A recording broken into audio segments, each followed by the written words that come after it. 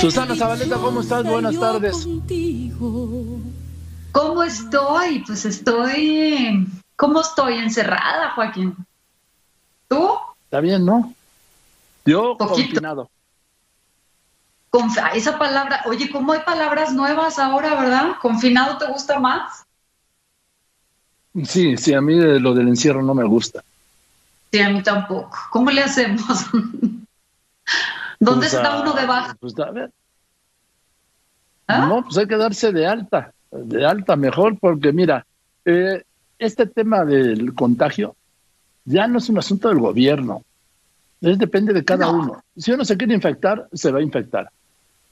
Si uno no quiere infectarse, pues tiene que tomar las medidas necesarias para no, para evitar hasta donde se pueda infectarse y no hacerle, ya sabemos qué, yendo a bodas, yendo a fiestas, yendo a, algún antro.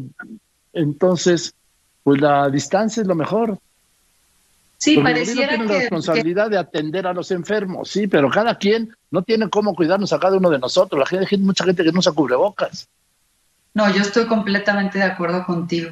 Y además, estas salidas completamente innecesarias, Joaquín, ¿no? Que dices, ¿qué necesidad hay de que vayas a tal lugar? O sea, ¿para qué? Si no sabes ni siquiera si estás enfermo. Sí, sí hay mucha gente inconsciente y está, está muy difícil, pero pues nos vamos a tardar, a tardar en entender, Joaquín, es difícil mantener, o sea, de la noche a la mañana cambiar nuestras vidas. Ha sido muy difícil, ¿no? Sí, a ver, es, es, es algo diferente. Y es algo diferente que llegó para quedarse, porque el cubrebocas el cubrebocas nos pareciera va a llevar años. Que es como, pareciera que es como el primer año del resto de nuestras vidas, así de triste. Entonces estuvo padre lo que pues vivimos, pero sí pareciera que ya va a cambiar todo. Sí, y además no sabemos, hoy no sabemos dónde vamos a desembarcar, ¿eh? No, ya sé, Joaquín, ya sé. Pero no me, no, no, no, no hay que, no hay que aburrir con eso, porque eso es como el tema de todos los días hay que pensar y hablar de otras cosas, ¿no? Yo, yo, yo, a mí me gustaría hablarte de la voz, que además en esta época yo creo que es básico, ¿no? La voz, cómo saber manejar tu voz, ya que no vas a estar en presencia de alguien, por lo menos aprende a manejar tu voz, ¿no? Qué rico. ¿Cómo es eso de aprender a manejar la voz? Yo no sé, nunca lo he aprendido. ¿No? Entonces, ¿cómo hablas tanto y no te cansas? ¿Eh? O, tienes un mecanismo de, defensa maravilloso. Bueno, a mí sí me ocurrió compartir con la gente en 10 sesiones que hice acerca de conocer su voz, de conocer la voz de cada uno para poder utilizarla, ya sea hablando, ya sea con, dirigiendo, porque mucha gente dice, es que no sé por qué no me escuchan, pues no te escuchan porque no hablas bien. Hay que hablar claro, bien y dirigir la voz hacia donde quieres dirigirla para que te escuchen y te escuchen bien y con respeto y con, y con belleza, porque la voz también es belleza y, los mexicanos tenemos esta tendencia horrible de, de, utilizar la nariz todo el tiempo, ¿no? Y, este, y entonces se me ocurrió hacer esta, estos 10 capítulos acerca de detrás de tu voz y, espero que la gente se una y entre y se diviertan porque la voz es una cosa muy divertida, que puedes jugar con la voz, puedes hacer lo que tú quieras, puedes disfrazarte con la voz. O sea, es, es maravillosa. Entonces, pues los invito a ver si me pueden acompañar y, y meterse a estas clases que yo creo que se la van a pasar bien. Pues no me fue. No, yo aquí estoy. ¿Se fue la voz? Ah, ah sigue, sigue. Porque oye, este, fíjate que yo siempre pensé, siempre quise, lo que pasa es que nunca me dio tiempo a aprender a vocalizar, porque nosotros somos reporteros, entramos, lo que hizo Jacobo con los noticieros es que acabó con los locutores de las grandes voces, así, y nos echaron a los reporteros. Y los reporteros nunca aprendimos ni a vocalizar, ni a manejar la voz. Nosotros somos de la información dura, fuerte, vámonos. Ajá. Pero, pero yo creo que la voz, oh, bueno, primero, antes que nada, ha sido tu arma. Si tú, sin tu voz no eres nadie, Joaquín. ¿Cómo le haces?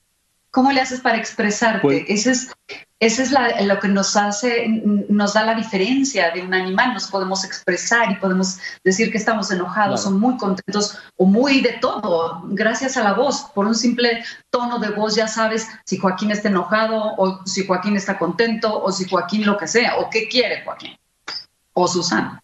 ¿De veras? ¿Tú a poco, tú a poco alguna vez, cuando me decías que veías el noticiero o oyes la radio, tú puedes saber si yo tengo algo personal, si estoy cansado, si estoy enojado. Sí, pero te, puedo, te podría decir cuando estás jugando, te podría decir cuando estás jugando, cuando estás enojado, cuando traes atrás buscando algo. Claro que sí, Joaquín, ¿no? Nos conocemos, claro. Conozco, te he oído pues tanto que sé cómo lo haces, lo sé. También sé cuando estás viviendo algo que no te gusta, también lo sé. ¿Sí se nota? ya en serio. no, en serio, en serio. Porque... Sí, sí se nota. Ahora, dime, háblame de este curso, porque a mí me encanta esta idea del curso y créeme que lo voy a, lo voy a buscar. Me encantaría, porque además eh, saber dónde poner la voz cuando está cansada, usar los resonadores cuando no hay un micrófono, la gente se le va el micrófono y ya no sabe qué hacer, ya no sabe para dónde ir, hacia dónde dirigirse, no saben dónde poner la voz. Cuando te gana la emoción. ¿Cómo se pone la voz? ¿Cómo, se pone la voz, esta frase, esto que acabas de decir, Susana Zabalet?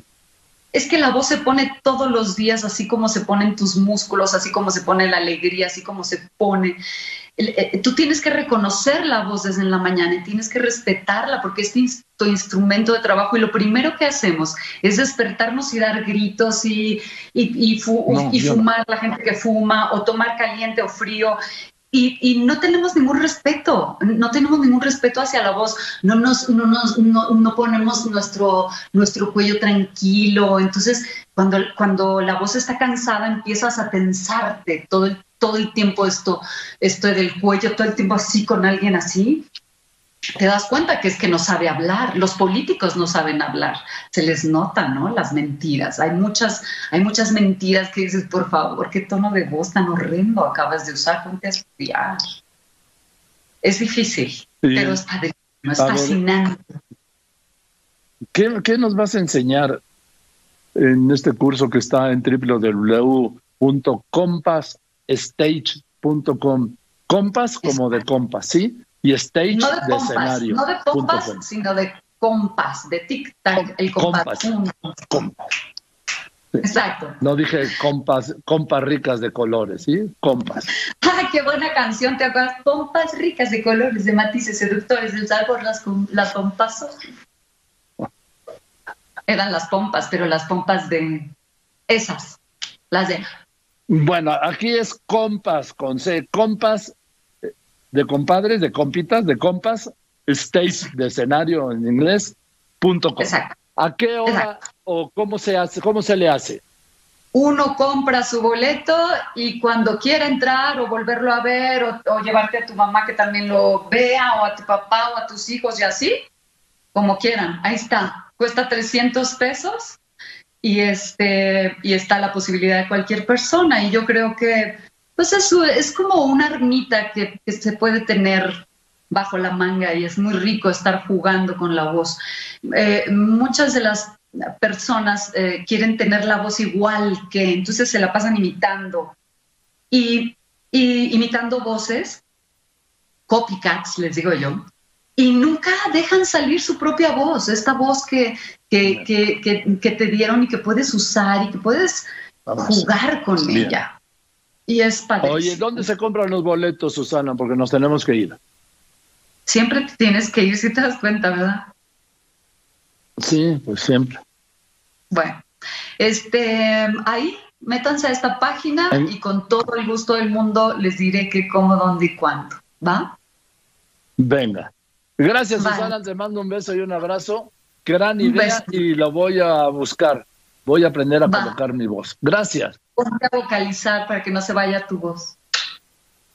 También lo haré. No sé vocalizar, nunca he vocalizado, pero lo haré. Gracias, Susana. Ahí aprenderé contigo en compasstage.com.